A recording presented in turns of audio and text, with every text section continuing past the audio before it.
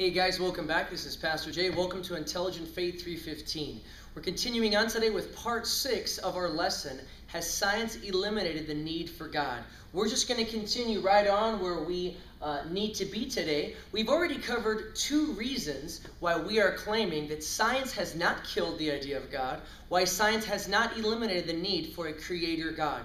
Reason number one was the scientific founding fathers. Let me, actually, let me just rewind and uh, show you our, our outline here.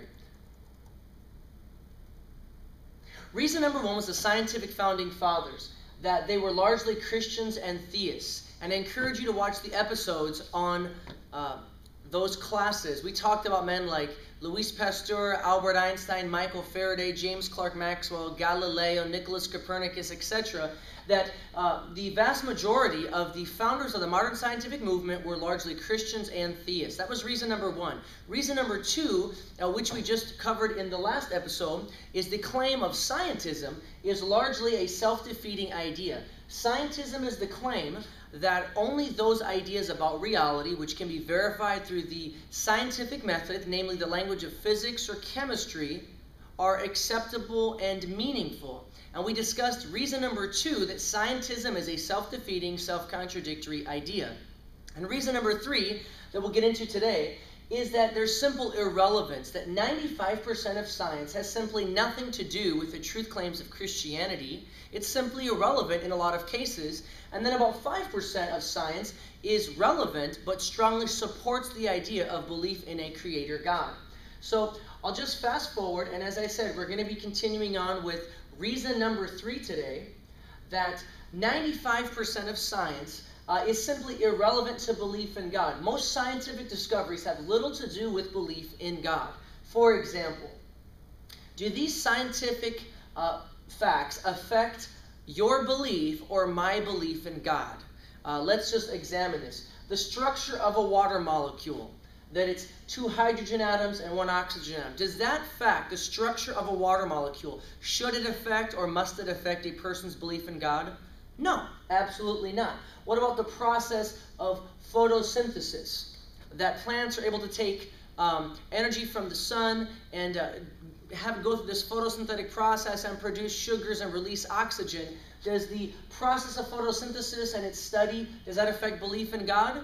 No, if anything, I think it would lend towards the belief in God through this complex process that's developed in which evidence is designed, but it's not really that relevant directly. Uh, the, the different cell types in the human body, uh, eukaryotic cells, prokaryotic cells in the human body, does that, does that directly affect belief in God one way or the other?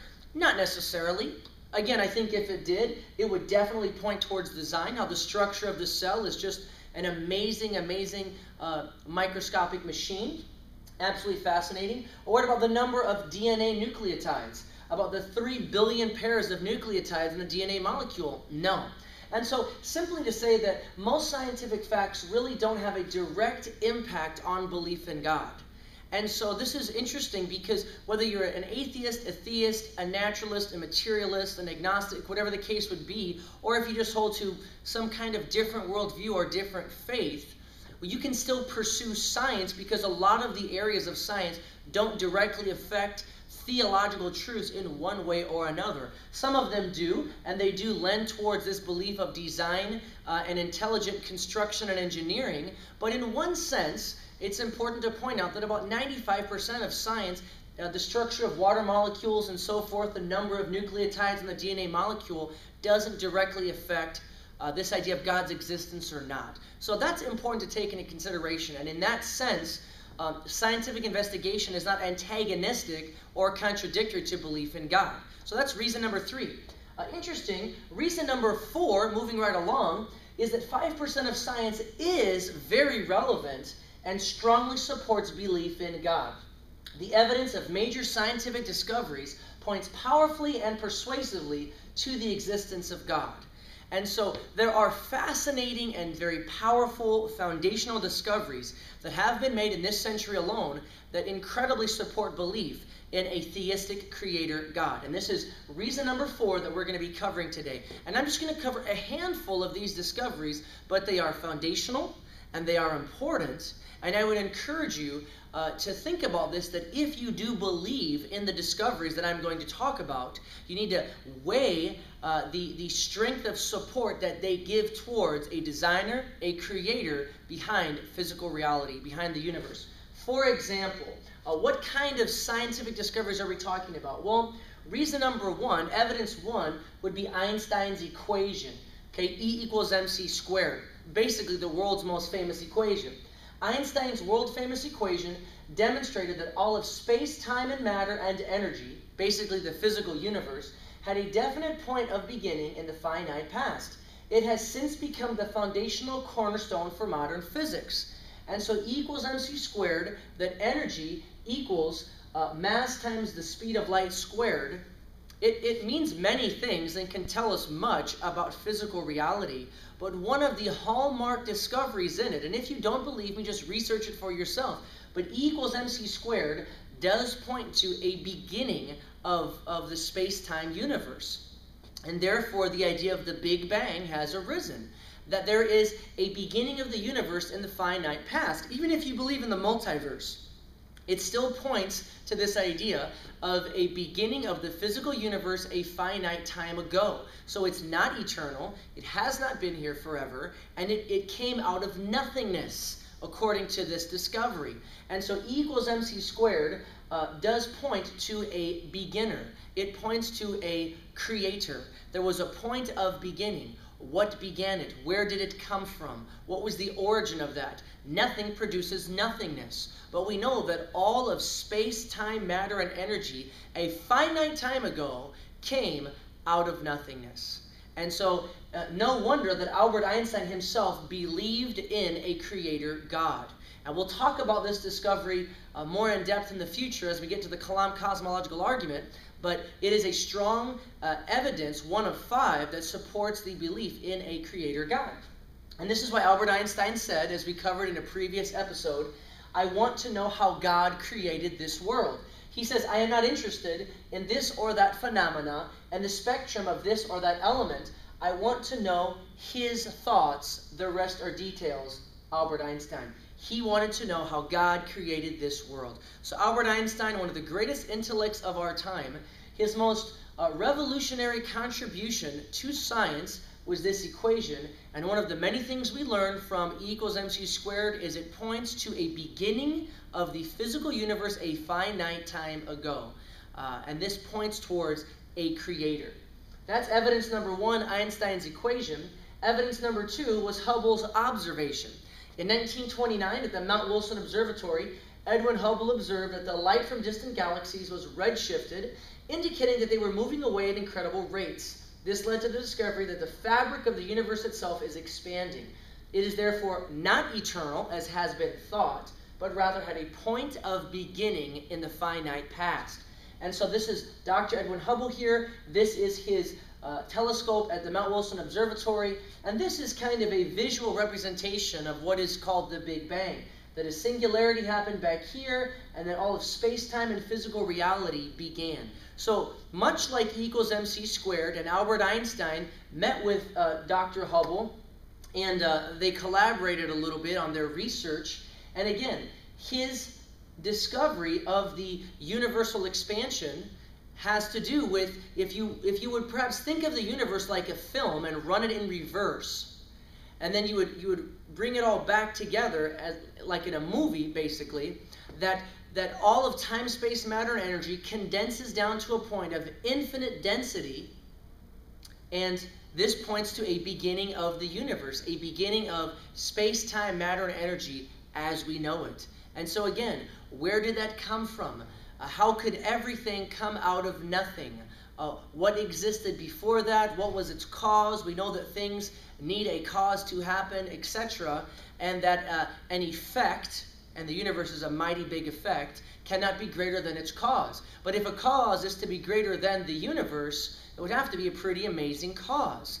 And so, right away, we see that scientific evidence Einstein's equation or Hubble's observation point to a beginning of the space-time universe a finite time ago, pointing to a beginning, to a creation of the universe.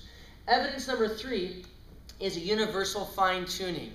Universal fine tuning is a fact. Universal fine tuning is true, and universal fine tuning is a tremendous problem to many atheist cosmologists, astrophysicists, and astronomers. Universal fine tuning is real, and this is probably the reason why the multiverse hypothesis has been invented. Because the multiverse hypothesis is seeking an escape hatch. Why? Because universal fine tuning points to a fine tuner, it points to a designer.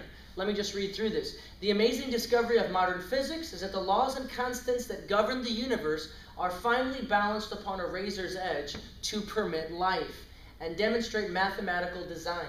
A slight difference in any one of these constants would mean that the end of all complex life in the universe. This has come to be known as the fine tuning of the universe. So, for example, some notable examples of mathematical or physical constants would include the cosmological constant, which is the, uh, the rate of the expansion of the universe, the electromagnetic force, the gravitational constant, the strong, the strong nuclear force and the weak nuclear force, the speed of light, uh, the mass of a proton, the charge of an electron. There are so many quantities that when we assign mathematical values to them, we discover that if they were to change in one part in a hundred billion, billion, billion, billion, billion, billion, and these actual numbers have been calculated for us, that all complex life would be immediately wiped out. And there are about 30 of these, these physical constants. And what we've discovered is they need to be not just finely tuned individually within themselves, but their ratio to each other has to be finely tuned. And so this just screams design. And the problem of universal fine tuning is a big problem to an atheist, a naturalist, or a materialist. Number one, why are there any physical constants, period? And number two, why are they so finely tuned in ratio to each other and within themselves? Now, of course, one could cry this is just a random universe, one of many, but now you're out of science, my friend. You're now you're now you're getting into philosophy and into metaphysics because there is no independent scientific evidence for the multiverse, nor could there ever be. And so endorsing the multiverse is not a scientific theory, it is a supernatural, or you could say a philosophical or a metaphysical theory. Because all of the scientific evidence, if you claim to be a man or a woman of science, points to the fact that this universe is finely tuned and it had a beginning a finite time ago out of nothingness. Again, due to Hubble's observation and also Einstein's equation. So these three discoveries alone point very powerfully and persuasively to a designer. And let me just finish by reading uh, some quotes from some very well-known scientists. Roger Penrose, a mathematician and author, says that I would say the universe has a purpose. It's not there just somehow by chance. He is a mathematician and an author. And you can see his academic credentials if you search for them. Paul Davies, a British astrophysicist, I believe he's an agnostic, he says, There is for me powerful evidence that there is something going on behind it all. It seems as though somebody has fine tuned nature's numbers to make the universe. The impression of design is overwhelming.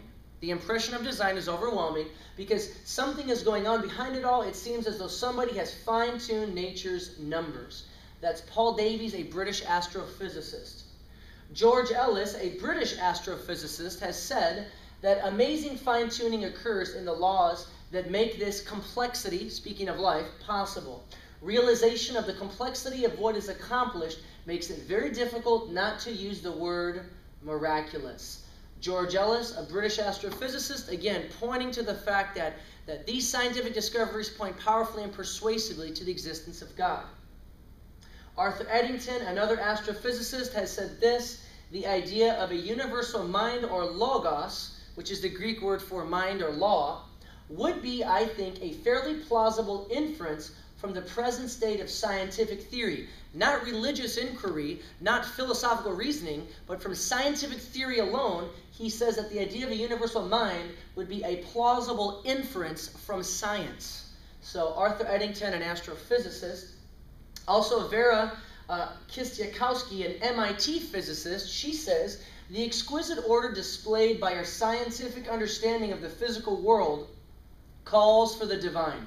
She is not a priest. She is not some type of a spiritual person. She is an MIT physicist, and she says that the exquisite order calls for the divine. The fine tuning screams out for the divine.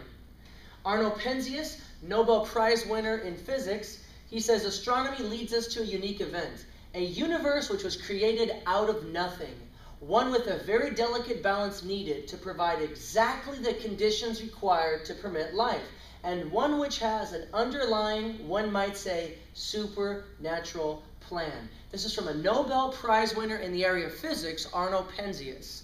That there are supernatural signatures of design evidenced through science in our universe. Frank Tipler, professor of mathematical physics, says from the perspective of the latest physical theories, Christianity is not a mere religion, but an experimentally testable science. That's fantastic. A mathematical physicist uh, says this uh, testable science uh, from, the, from the perspective of the latest physical theories. So uh, we will just end it with that. I do encourage you to look into this as much as you can, that the, the areas of scientific discovery and investigation that we have thus far point powerfully and persuasively not to the elimination of God, but to the existence of a creator God. That's all for today. We'll see you next time.